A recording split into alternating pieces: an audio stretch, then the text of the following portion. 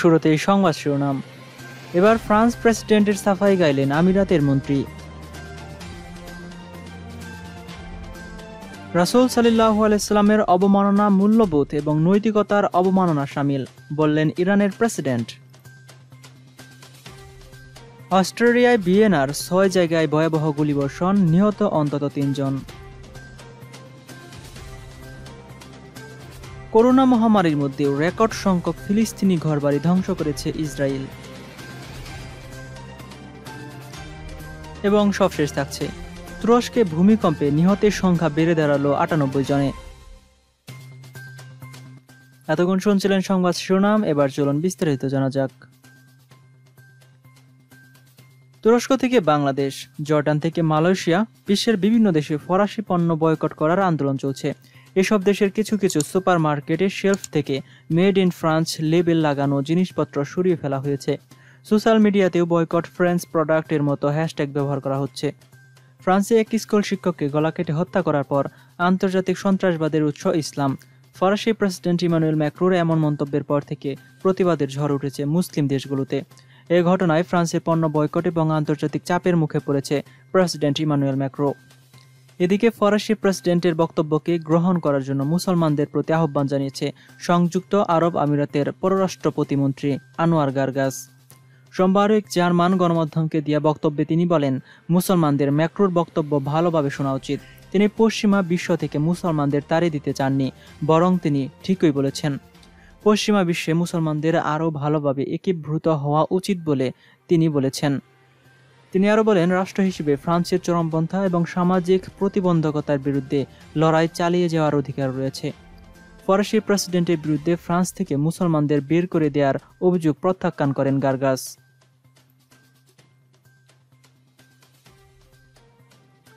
ইসলামের নবী হজরত মোহাম্মদ সাল্লাহ আলাইস্লামের যে কোনো ধরনের অবমাননা করা প্রকান্তরে মানবীয় মূল্যবোধ, নৈতিকতা এবং স্বাধীনতাকে অপমান করা সামিল বলে মন্তব্য করেছেন ইরানের প্রেসিডেন্ট হাসান রুহানি। মহানবী সাল্লাহ আলাইস্লামের পবিত্র জন্মবার্ষিকী উপলক্ষে মুসলিম দেশগুলোর নেতাদের কাছে পাঠানো এক শুভেচ্ছা বার্তায় তিনি এমন মন্তব্য করেন। সম্প্রতি ফ্রান্সের ম্যাগাজিন শার্লি হেবদুর সম্প্রতি মহানবী হজরত মোহাম্মদ সাল্লাহ আলাইস্লামকে অসম্মান করে কার্টুন ছাপা হয়। সেই কার্টুন শ্রেণীকক্ষে শিক্ষার্থীদের মত প্রকাশের স্বাধীনতা শেখাতে প্রদর্শন করেন একটি শিক্ষক। পরে তিনি হত্যাকাণ্ডের শিকার হন। পরে ফ্রান্সের রাষ্ট্রীয় ভবনে সরকারি পৃষ্ঠপোষকতায় সেই কার্টুন প্রদর্শন করা হয়। ফরাসি প্রেসিডেন্ট জানান, তিনি এ প্রদর্শনী বন্ধ করবেন না। কার্টুন প্রকাশ এবং প্রদর্শনী বন্ধকে স্বাধীন মত প্রকাশের উপর আঘাত বলে আখ্যা দেন তিনি। প্রেসিডেন্ট হাসান রুহানি তার বার্তায় আরও বলেন মহানবী সাল্লাহ আলাইসলাম ছিলেন সর্বোত্তম পুরুষ এবং গোটা বিশ্বের জন্য রহমত। এমন একজন আদর্শ পুরুষের অবমাননা সব ধরনের নীতি, রীতির অবমাননা সামিল। তিনি বলেন, ইসলাম প্রজাতন্ত্র ইরান এই ঘৃণিত পদক্ষেপের তীব্র নিন্দা জানিয়েছে এবং একই কাজ করার জন্য সব মুসলিম দেশের প্রতি আহ্বান জানাচ্ছে। বিশ্বের বিভিন্ন দেশে বেড়েছে সন্ত্রাসী হামলার ঘটনা। এবার মধ্য ইউরোপের দেশ অস্ট্রিয়ার রাজধানী ভিয়েনার ছয়টি জায়গায় বন্দুকধারীদের গুলিবর্ষণে দুইজন নিহত হয়েছেন। আহত হয়েছেন অনেকে। হামলাকারী বন্দুকধারীদের একজনকে হত্যা করা হয়েছে বলে জানিয়েছে দেশটির সরকার। ভিয়েনার কেন্দ্রীয় সিনাগার অর্থাৎ ইহুদিদের উপাসনালয়ের কাছেও বন্দুক হামলা হয়, তবে সিনেককে টার্গেট করা হয়েছে কিনা তা নিশ্চিত নয়। ভিয়েনার মেয়র মাইকেল লুটবিক বিবিসিকে বলেছেন ঘটনাস্থলে একজনের মৃত্যু হয়েছে। অপর একজন নারীকে গুলিবিদ্ধ অবস্থায় হাসপাতালে নেওয়ার পর তার মৃত্যু হয়েছে। এসব ঘটনায় এক পুলিশ সদস্য সহ চোদ্দ জন হাসপাতালে চিকিৎসাধীন রয়েছেন। এদের মধ্যে ছয় জনের অবস্থা আশঙ্কাজনক বলে জানান তিনি। এদিকে বন্দুক হামলার ঘটনায় নিন্দা এবং প্রতিবাদ জানিয়েছে যুক্তরাজ্যের প্রধানমন্ত্রী বরিস জনসন।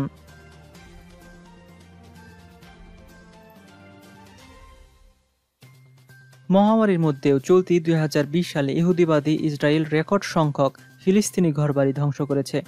ইসরায়েলের এই বর্বরতার চরম ভোগান্তিতে পড়েছে ফিলিস্তিনিদের জনজীবন। ইসরায়েলের অবৈধ বসতি স্থাপন বিস্তার বিরোধী এনজিও আর আই আমিম এ রিপোর্ট বলেছে, দুই হাজার উনিশ সালে ইসরায়েলি বাহিনী পূর্ব জিরুজালেম আল কুদস শহরে যে পরিমাণ ঘরবাড়ি ধ্বংস করেছিল, চলতি দুই হাজার বিশ সালে সেই রেকর্ড ছাড়িয়ে গেছে। চলতি বছরে ইহুদিবাদী ইসরায়েল ফিলিস্তিনিদের অন্তত একশো পঁচিশটি ঘরবাড়ি ধ্বংস করেছে।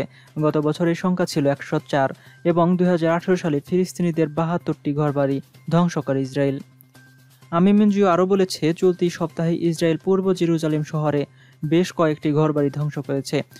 এই নিয়ে এবছরে মোট একশো পঁচিশটি ঘরবাড়ি ধ্বংস করল ইসরায়েল কর্তৃপক্ষ। চলতি বছরে আরও দুই মাস বাকি। ফলে দুই হাজার বিশ সাল হতে যাচ্ছে ঘরবাড়ি ধ্বংসের সবচেয়ে বড় খারাপ বছর। দুই হাজার ষোলো সালে ইসরায়েল সর্বোচ্চ একশো তেইশটি বাড়ি ভেঙে দিয়েছিল।